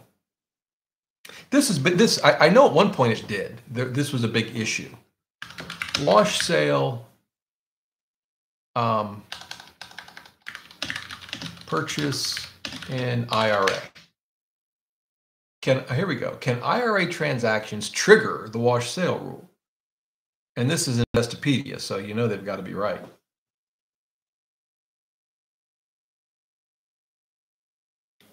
course, it might take you forever to get to the answer. Uh, here we go. In the ruling, the IRS explained that when shares are sold in a non retirement account and substantially identical shares are purchased in an IRA for 30 days, the investor cannot claim tax losses for the sale. There you go. That's according to you can you can look at revenue ruling 2008-5. Whether that's changed, I don't know. What if you break the rule? Here's the question I always had: is How will the IRS know you broke? I'm not suggesting you hide it from the IRS. That's just a question. Maybe they have a way. Anyway, there you go. Um, Ram, is there? How are we doing on time? Oh, we're good. Is there a way to see a certain portfolio results performed historically by balancing frequencies using personal capital? No, not that I know of. But we can do that. Let me just show you. Um, do asset allocation. So this is portfolio visualizer, and we can select a portfolio. We'll do, uh, we'll just do the Bogleheads three fund. And this is not using specific ETFs. This is like an asset class um, approach. I, am using this because it, will give us more historical data. And so right now we're, we're rebalancing annual. Let's just do no rebalancing, right? Analyze from 1987 to today. We've got, remember that number. Someone write it down. We'll just call it 219,000. Rebalancing is probably going to hurt us because of the bonds. That's my guess. 218,000. Yeah, 186,000. And um, my guess is rebalancing more frequently. Well, you can do bands in here too. Absolute. This is sort of the opportunistic rebalancing. So you can do a lot of different things in here. It's a cool tool. Anyway, we'll go to monthly. That's going to be under 218 as well, I would think. Yeah. Now, one thing you could do is say, all right, well, let's do, let's just focus on the stock portion. And so instead of um, bonds, we will go with small cap value. And we'll start back at no rebalancing. What do we get? 350, we'll call it 4,000, 354. All right. Annual. 354, ah, down, 339. Yeah. Let's see if doing it more frequently. Still down. Now let's look at rebalancing because this would be like the opportunistic rebalancing I referenced. Um, yeah, although you wouldn't really do it this way. You would set your bands based on a percentage of what percentage you have in each asset class, right? What's okay? We'll just set this to zero. Um, so 354, I think, was our number, if I remember correctly. Yeah, still not better. See, Jack Bogle was right. Anyway, you can play with this tool. This is all the free version. I'm not logged in. Um, I don't know if they give you extra tools for the paid version, but um, yeah. There you go. Alex, thanks for the great content. If I want to tilt my three fund portfolio by 10% to large growth tech long term, what would you add? Hmm. If it was tech, maybe the QQQ or VUG. I kind of like VUG. VUG, um, which is Vanguard's growth. I don't know that it's specifically tech, but sort of tech and growth kind of go hand in hand. Um, let's look at the portfolio.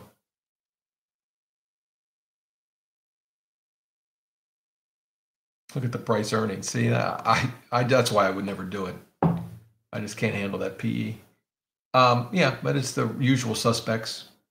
So it's basically the S&P 500 with all the value companies pulled out. But you know, I think QQQ, QQQ is a more focused portfolio. It's got fewer, uh, well, as, as, you, as, we know, about 100, right? So if we go to portfolio, it's um, about the same growth, but it's only 100, right, or 102.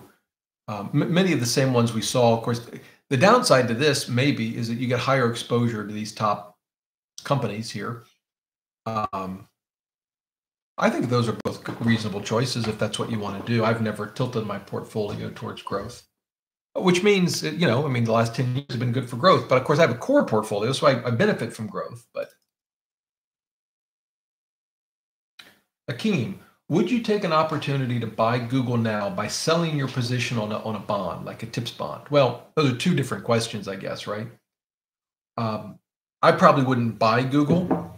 I generally buy com- value companies that pay a dividend. My reason for that is not because I care about the dividend per se.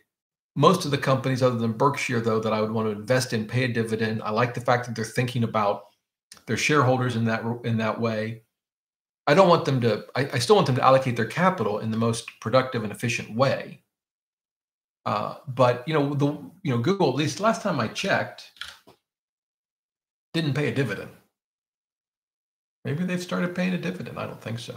No, they've not. Here they are, and I just it kind of concerns me. Um, you know, they've they're, they just got they're loaded with cash, and I, I get concerned about how they're going to spend it.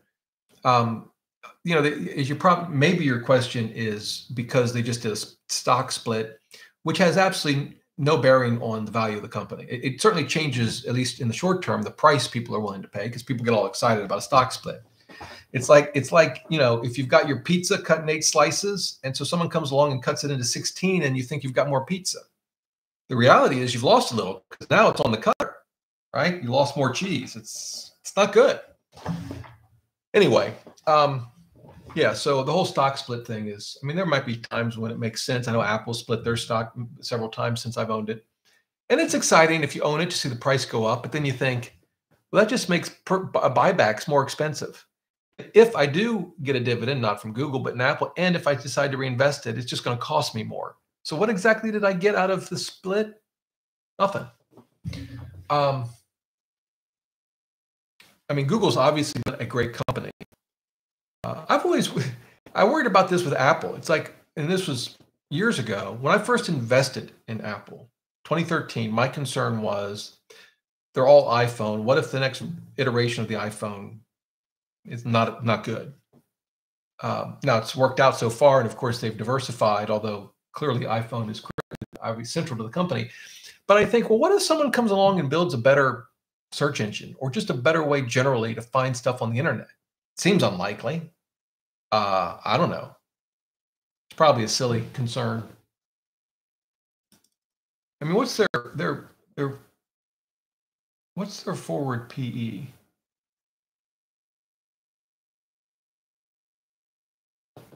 The way Morningstar does some of their data drives me crazy. Like I cannot find the PE for a company. Well, here we go. Maybe. Maybe. Maybe not. They keep moving things around. Um, anyway, I know I can just go to, I don't need Morningstar. Let's just look them up. Their PE, that's not terrible. 28, actually. That's not bad. Hakeem. I mean, relative to the, today's market. Okay. I, I don't know if any of that was helpful. Travis, currently in the process of transitioning my 74 year old mom to assisted living, which costs 7000 a month. She has 325,000 in savings plus 5,300 a month in income. How can we optimize her savings to last and leave behind? Boy, that's a great question, Travis. Well, assuming I'm going to assume that that that the cost of of the assisted living is coming from her assets. So, you know, she's got 5,300 a month in income. She needs another 1,700 to pay the monthly fee. That's going to presumably come out of the 325. Um, so you know you're looking at what 20 roughly 22 grand a year. Um, so so that's going to come out. So you've got this this income need, right? That you you've got to deal with um, in, in your planning. And um, so I, you know, that's a tough one. I think what I would do, I would, I would talk to a financial advisor personally, not to invest the money, whether that's what you want to do you, you can choose yourself. Um, but but to walk through all the different scenarios, including at what point perhaps can you rely on, like for example, Medicaid, maybe, um, and and how that works, and what you should do with the assets uh, for that. So there's there's questions there that go beyond just how do you invest the money, right? And um, I, I would I would speak to a financial advisor to understand all of those issues and opportunities um, in terms of the actual uh, money, honestly, I tend to invest in a very similar way um, with low cost index funds. I don't know what asset allocation I would use. Um, it would certainly have a, you know a significant portion of fixed income, uh, but that would depend on on answers to some of those other questions. Uh, so that's what I would recommend because when you get to those sort of you know questions as as as people age and um, there are a lot of different things at play, right? You've got Medicare, you've got Medicaid potentially, um, and they're certainly beyond me. Um, so that's why I would talk to an advisor. Probably, I don't know. I hope you didn't spend a lot of time on the show waiting for a silver bullet answer because there isn't one. But but that's what I would do. But I wouldn't talk to someone who want who's who's thinking they're going to get this money to invest at 1% AUM or something. You want a truly unbiased opinion, and you can't get that from a fiduci- from a fiduciary who wants to get your assets and charge you 1%. Let me just talk about that briefly. Because uh, you know, I did a video on fees. One of the things that I realized, you know, and I've thought about this off and on, but this is true with mutual funds, ETFs, and advisor fees. All of the none of these fees involve you getting an invoice or me receiving an invoice each month or having the amount deducted from our credit card or a bank account, right? If it did, I think we would see the fees in a totally different light. You know, if you've got a, if you're retired, you got a million dollars, and you know you're paying someone one percent plus they're putting you in expensive mutual funds, and you see your credit card getting hit for fifteen hundred bucks a month. Hello, but you, you don't see that. They quietly take it out of your funds. You don't even it does. It's not even reflected in your statement, at least all the ones I've ever seen uh, you know, you talk about regulatory change. That's where we should change it. I tell you, we get that changed, um, and we'd see fees come down, in my opinion, because people would be start complaining. Who wants to Who wants to pay fifteen hundred bucks a month? Well, we, we don't. We don't feel it because we don't see it. All right. Kentora, Fargo, North Dakota. Welcome. I spent a very cold winter in North Sioux City, South Dakota. I was counsel for Gateway. Remember Gateway 2000? I love that that work. That was fun. Cold. Not as cold as Skagway, Alaska, though. RAM, yes, the brain is proprietary. I get that. And Obsidian, Obsidian is, is not, or you know, uses basic markdown files. But the brain is really cool software. I'm willing to take the risk. And you can incorporate markdown files in it. Clarice, good morning. What features do you use in StockRover? Uh, so StockRover is an interesting tool in that it is incredibly robust. And as a result, there's a learning curve for it. Um, and uh, I've only begun the process of learning it. I mean, there's far more that I don't know about this software than I do know. I'm going to see if I can pull up a demo portfolio that I've used in the past. Huh. So here's one. Um, so this was just a demo portfolio, the 712 portfolio, which is a portfolio I want to review. And I put it into um, Stock Rover. And so the, the, the hard thing that I found in learning Stock Rover is it, it provides you so much data that you have to spend some time understanding where things are and how they work. Once you do that, um, it's a very robust tool. Um, and so, uh, for example, in this portfolio, I, I think I set all my portfolios up to be a million dollars. Um, it's lost some money since when I don't remember when I set this up. Oh, uh, yeah, but like like future income. So if we click that, um, this shows you the projected income of the portfolio. I find that interesting and useful. Um, you can also, they've come up with what they call, let me just see if I can pull it up here. Here it is. It's future simulations. It's this tab right here where you can simulate, and it's in beta. And you can you can simulate what the the future returns of this portfolio will be. Of course, garbage in, garbage out what you put in here is going to matter.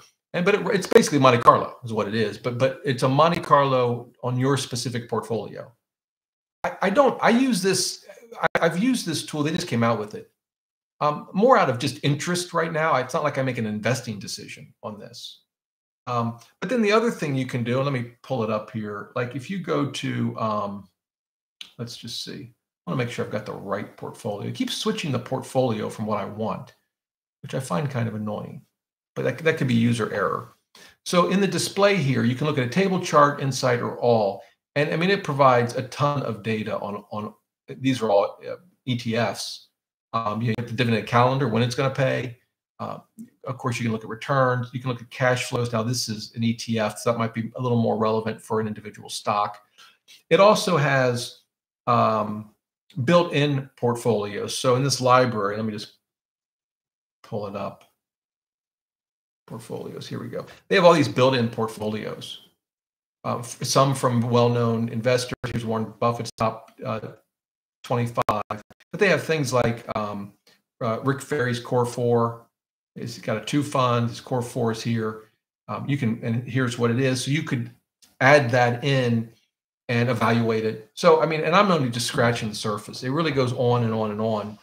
And um, yeah.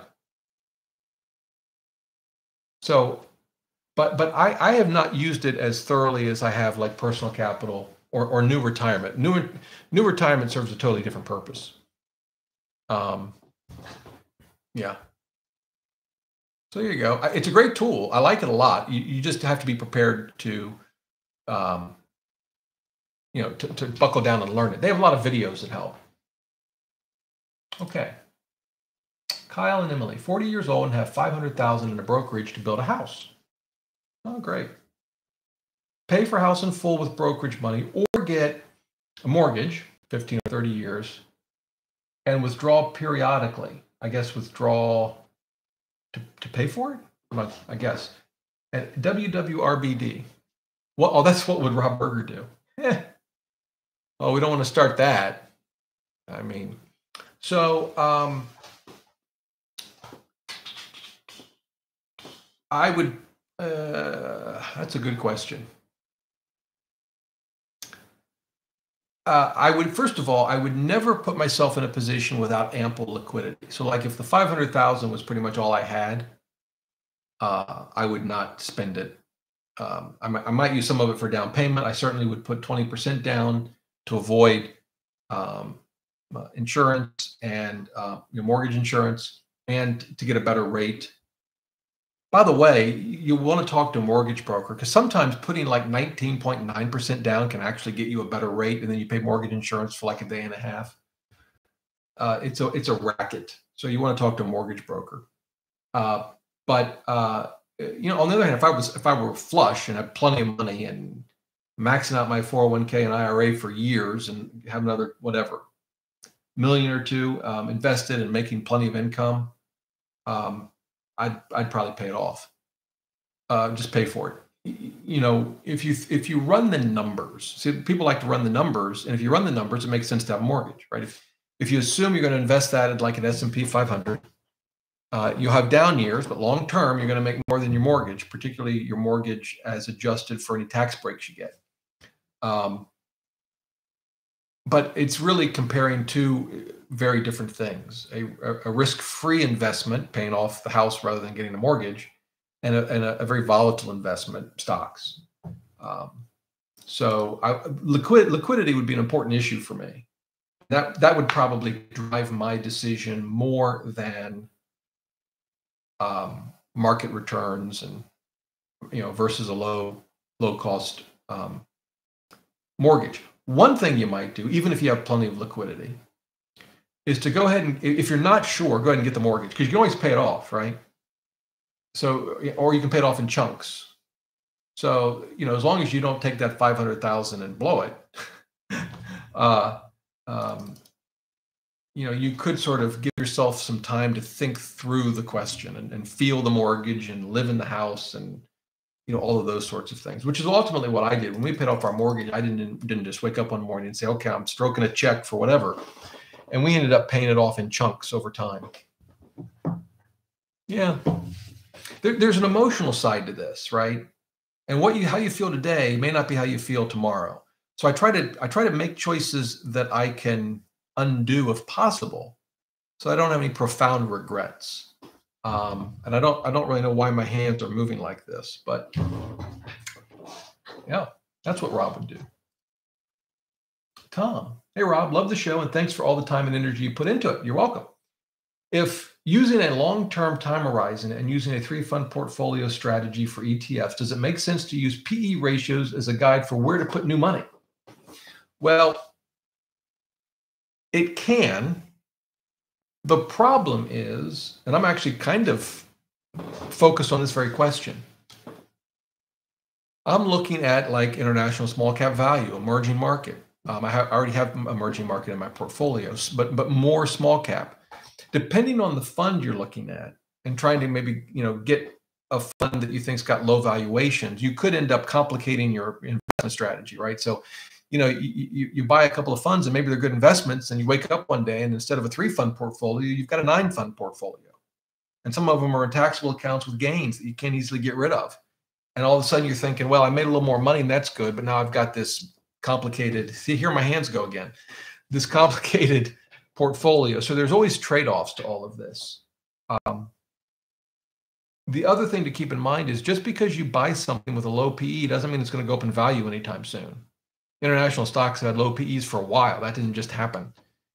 And um, just because a PE is high doesn't mean it's going to go down. I mean, the you know we've looked at the, the Shiller PE earlier in the show. It's been high for a long time now, and things keep going up. Now, again, we all know. I think we all believe eventually that will change. We just don't know when. Um, by the looks of it, it might be changing today. Market's down a little bit. Not that bad. So, you know, I am looking like as part of my stock portfolio, possibly buying some sector ETFs or something like an emerging market small cap or international small cap value and sort of treating it like a stock investment, not including it in my asset allocation. The, the one thing that's holding me back is not the investment. It's that I really like to invest in things in a taxable account that I'll never sell. Um, now, of course, things can change that. There's no way we, you know, we can't guarantee that things won't change and maybe I'll sell something. I'm not sure, like an, an, an, international small cap value, emerging market small cap is that kind of investment for me. That's what's holding me back, and I'm just sort of I'm mulling it over. Neil, did you attend the online Vanguard 22 meeting? I did not. It would have been fun. I didn't. Let's see. Whoops. If you're joining, if you didn't see the beginning of the show, please tag me at Rob Berger uh, if you have a question, because I see it, it comes up in orange. Uh, Russell, I have 250,000 in mutual funds, which is 50% of his taxable portfolio. Concerned about 30 plus year of fees. Yeah. Should I let it ride or sell or reinvest dividends elsewhere? And he gives some fund examples. Let's take a look at it. Let's see what kind of fees Russell's paying. So he's got AMCPX. Well, that's American funds. These are A shares. So on top of the fees, you probably paid five and three quarters to get in, right?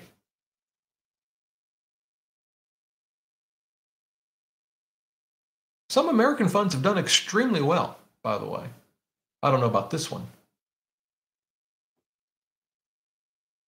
I would be so American funds are are inexpensive as actively managed funds go. This one's 68 basis points. Oops, let me show it to you. That's expensive when compared to an index fund, but I mean most uh, many actively managed funds are over one percent, some are over two. Um, I don't know how this one has performed. We actually, let's just compare it. This is a growth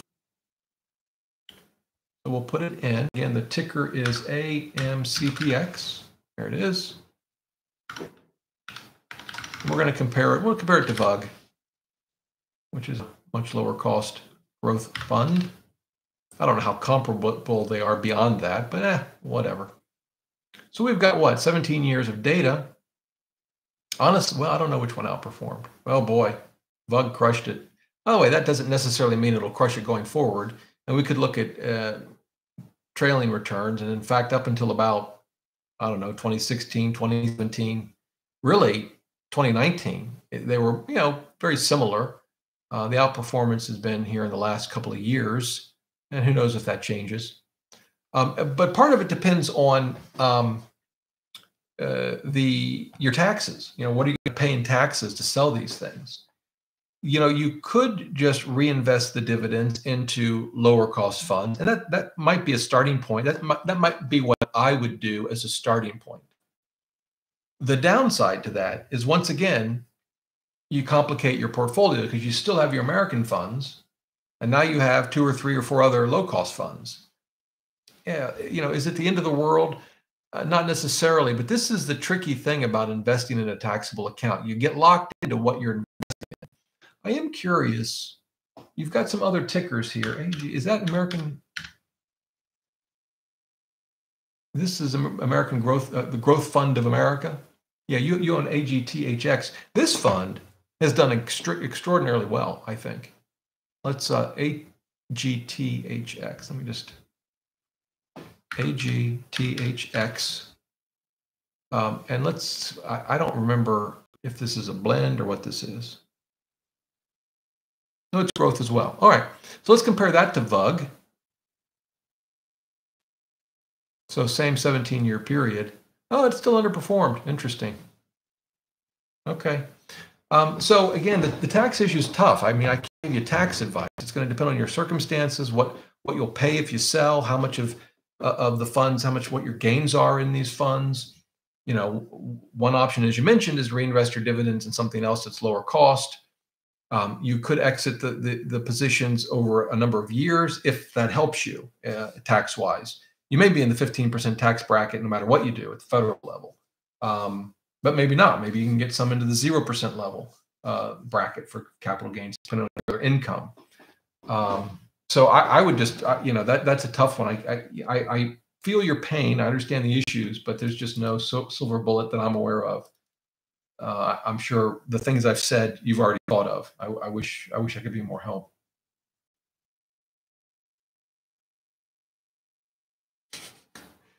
And Kit, if I'm sorry if I mispronounce it, but I think he gets the award for the best comment of the day. If there was a fund which was a total market fund but excluded anything which Jim Cramer recommends, I will buy that all day. Better if it's shorter what he recommends. Well, see now I see a there's a problem with your your proposed fund. I think he recommends just about everything over time. So I don't know, it could be empty. I'm not sure, maybe not. All right. Kevin. I'm a 37 year old investor and use a fund of funds approach. Great. For retirement. 401k is 100% VTRLX. Roth is 100% FFNOX. And taxable brokerage is 100% VTMFX. Any concerns? I have lots of concerns. I'm concerned about how the Ohio State Buckeyes are going to perform next year. But do I have any concerns about your portfolio? Well, let's see. VTRLX, that is the 2050 fund, and that's in a retirement account. No, no concerns there. It's institutional, so you get the fancy 9%, 9 basis point expense ratio. It's it's basically, as I recall, a 90-10 portfolio. Yeah, close. Uh, I got I got no concerns. Um, in the Roth, you've got FFNOX. That's a Fidelity fund, right? Oh, multi-asset. So uh, no concerns here. Well, this is more expensive. Just so you need to know that. What's the? Oh, that's interesting. Well, it's interesting to me. So what's it invest in? Huh. But this, I, I don't believe this changes the asset allocation over time, right? Just something to keep in mind. But in any event, it's what 85 15 okay and i didn't i didn't realize that they had multi-asset funds that were that inexpensive that's what's throwing me off but at least based on what i see here that looks like a reasonable fund to me now in the taxable brokerage account that's where we could have trouble oh but it's tax managed look at that Only nine bips. Portfolio. So, um, how old are you? 37. So the one, of course, I don't know how much you have in each account. Um, this is a pretty um, modest uh, allocation to stocks, in my opinion. Not knowing anything about you, but I'll just use me as an example. When I was 37, well, honestly, it's hard to remember when I was 37, but I'll try. And as best as I can recall, um, this would be too conservative. However, depending on how much you have in the other funds and in this one, your overall asset allocation may be perfectly fine, right? It, may be you don't have as much in here. Uh, it's tax managed, that's good. But I'm curious what that means on the fixed income side. Like, do they use municipal bond funds?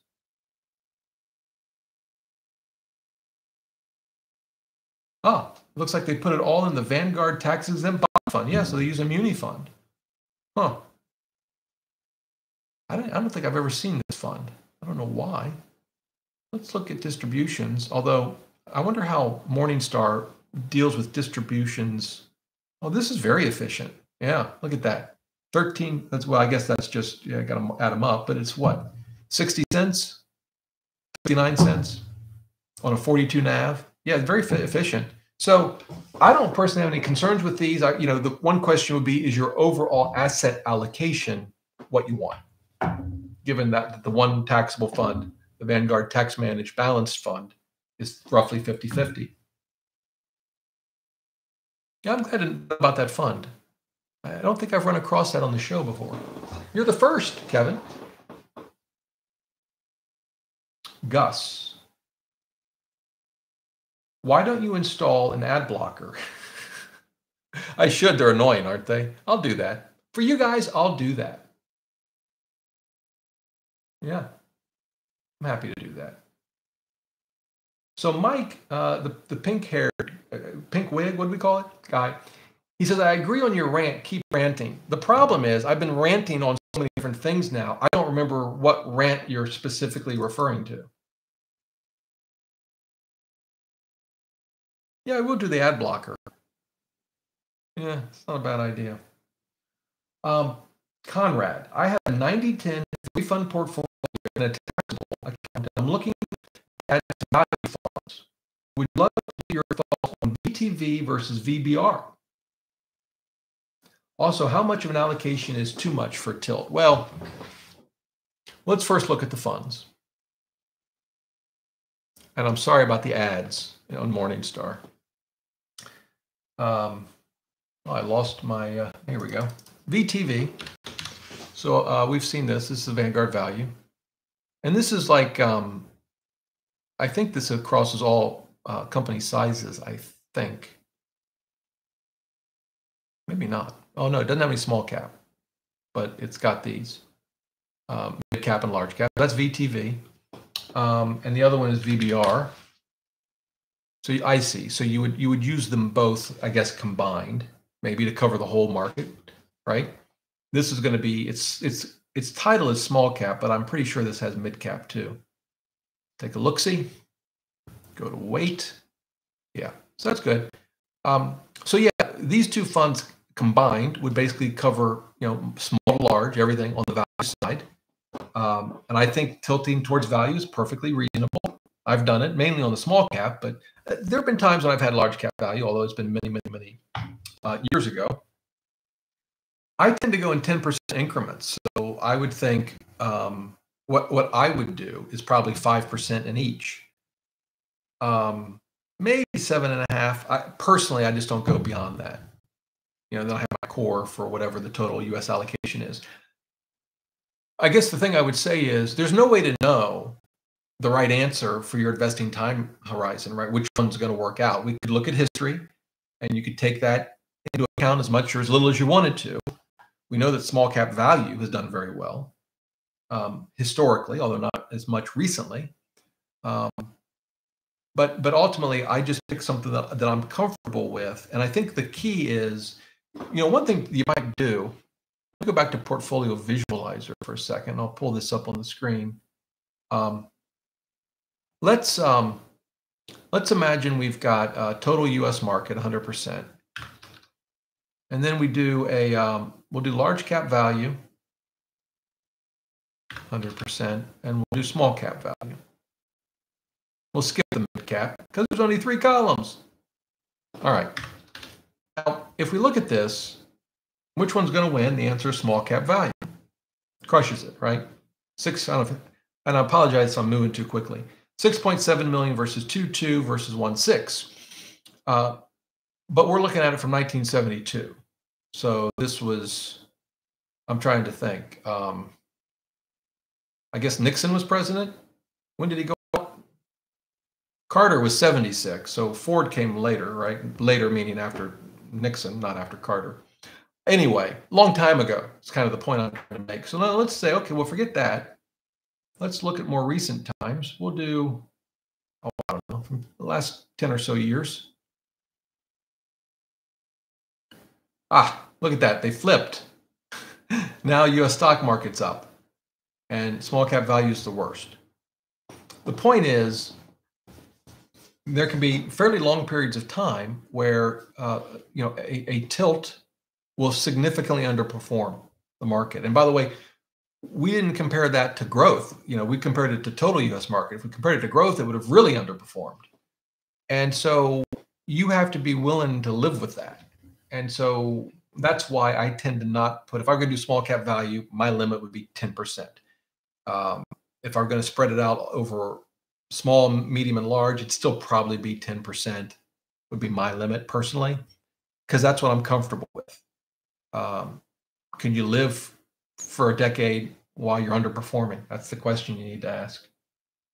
At least that's the question I try to ask myself. And I try to be as honest with myself as I can be. Sometimes I lie to myself.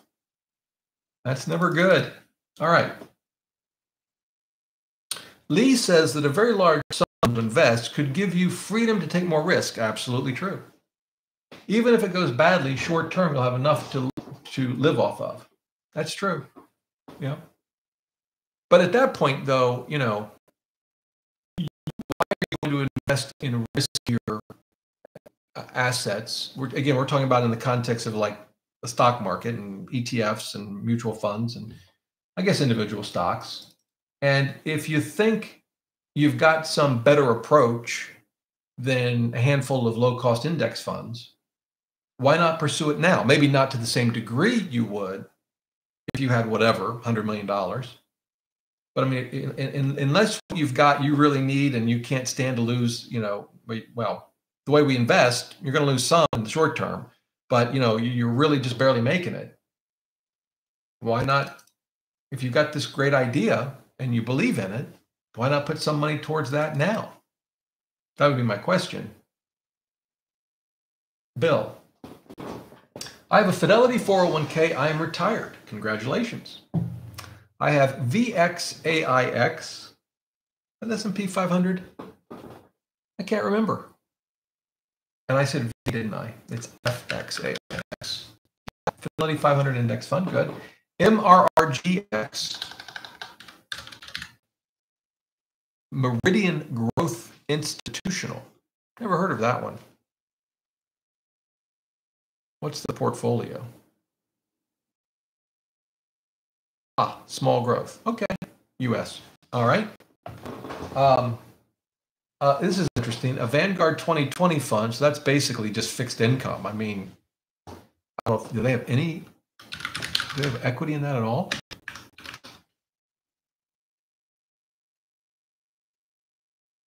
Fidelity Contra Fund. What do you think? Uh, let me look at the, uh, I'm looking at the 2020 fund. It's got to be almost all fixed income. Yeah, well, 70 is, oh no, no, it's not. Okay. So it's like 60, 55% uh, fixed income. Um, it's an interesting portfolio. So the, the contra fund portfolio, which I did a video is basically at the moment large growth, right? So you've got large growth You've got small growth in um, the Meridian Fund. Then you have sort of a blend, which is the S&P 500, and then and then this fund. Well, so a couple of again, I'll just evaluate how I would think through this fund for me. I would say, okay, well, the first thing that matters is how much I have in each, because that tells me my overall asset allocation.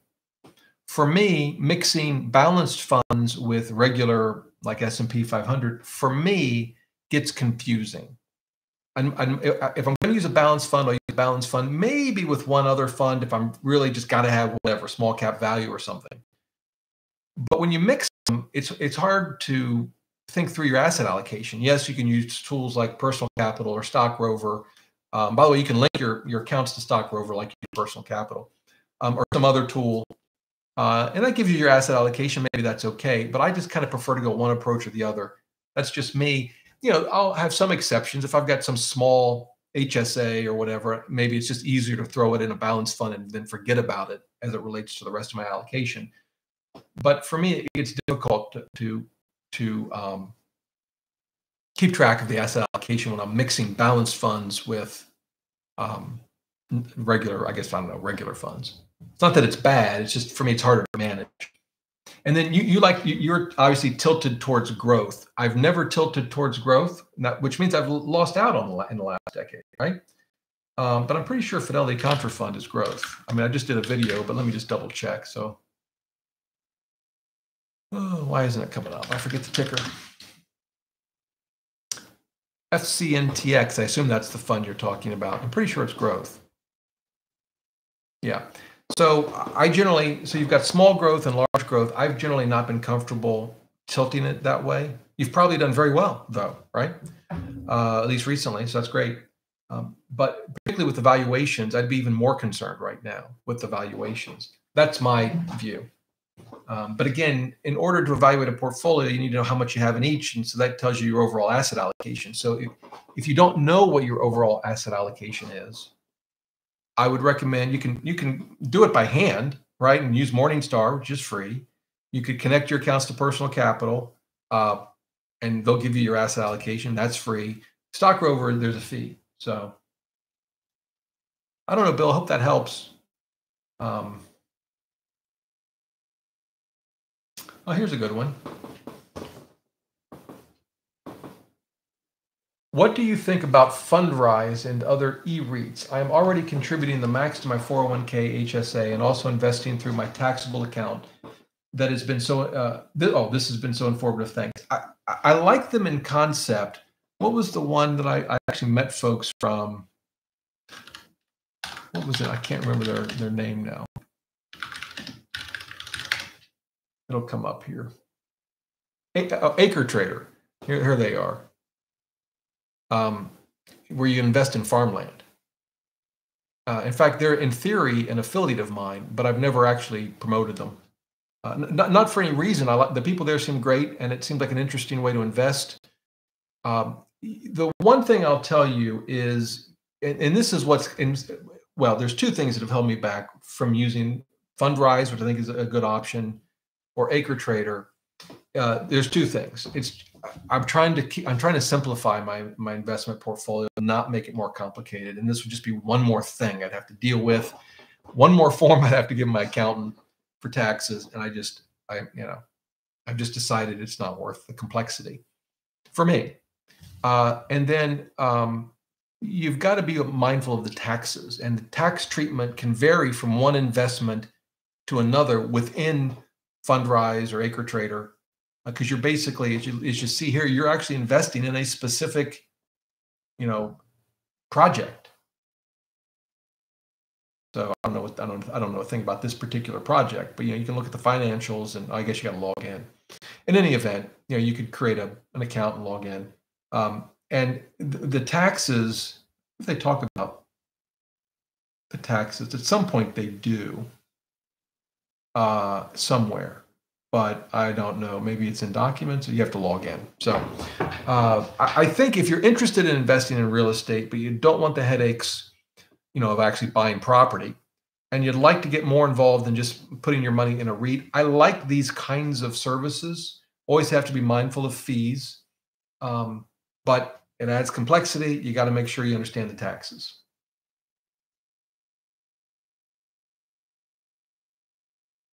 I've got time for one more question.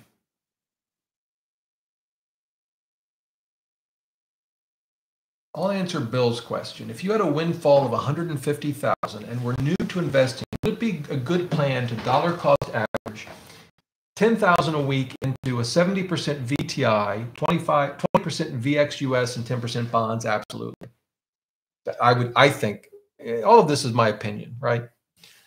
Um, I think that would be totally reasonable. 15 weeks should be done. You know, uh, I might do. I might not do it that way personally. Um, I might lump sum it. I don't know, but uh, I think that's absolutely a reasonable approach. And one question that I was asked recently in an email that I want to address kind of relates to this. It was someone who was totally new to investing. They'd opened up a Roth IRA, and I think they had used a three fund portfolio, not like what uh, Bill you've described. And they'd put some money in. Now, one thing to keep in mind you know, you, you go to like a, a, Fidelity or an M1 Finance or Vanguard or wherever, and you open up a, a, a, in this case, a Roth IRA. It could be a traditional, but you open up a Roth IRA. Right now, you have an account. right? There's nothing in it. So then you, they're going to ask you, how do you want to fund your account? You can send them a check. You can deposit checks via, smartphone, you know, snapping a picture, or some services allow you to do it. Um, or you can connect your bank account. And so let's say you decide a Roth IRA, you're going to put a thousand bucks in. You put the money in, and what happens to it? Where is it invested? Well, it's not invested anywhere. It's in a cash account, typically a money market fund of some kind that earns basically 0.00% APY. And it just sits there. I, have talked to people who didn't realize they had to do something else. They just, oh, it's in the Roth IRA. Good. That's my retirement account. It's working for me. No, it's not. Nothing's happened yet. Uh, well, you've put money in, but it's not invested in anything. And it's something I want to stress. When you know, I've been doing these live shows for a while. They seem to be fairly well received, and I'm going to keep doing them. I really want to encourage folks out there. I know I don't. I, I never get to all the questions, and I'm sorry. I see a whole bunch.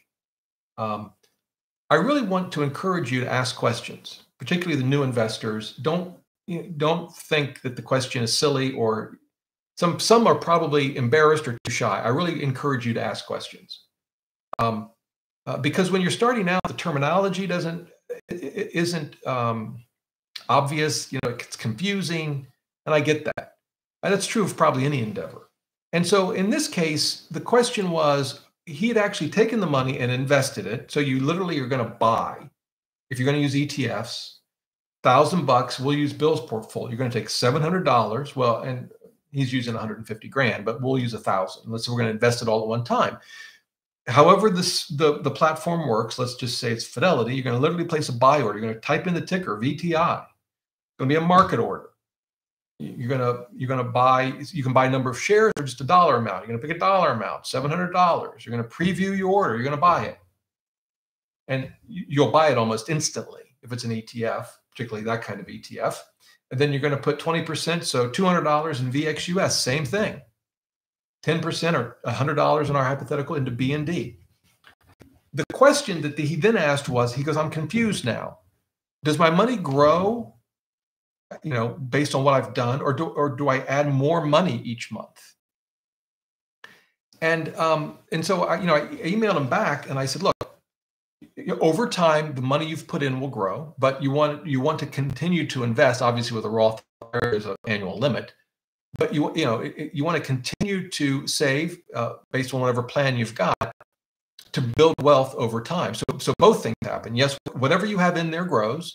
You continue to buy more shares. You can automate the process in most places where you know uh, a set amount comes out of your checking account. You know whether it's a taxable account, a brokerage account, or an IRA. Obviously, with an IRA, you don't you can't go over the limits.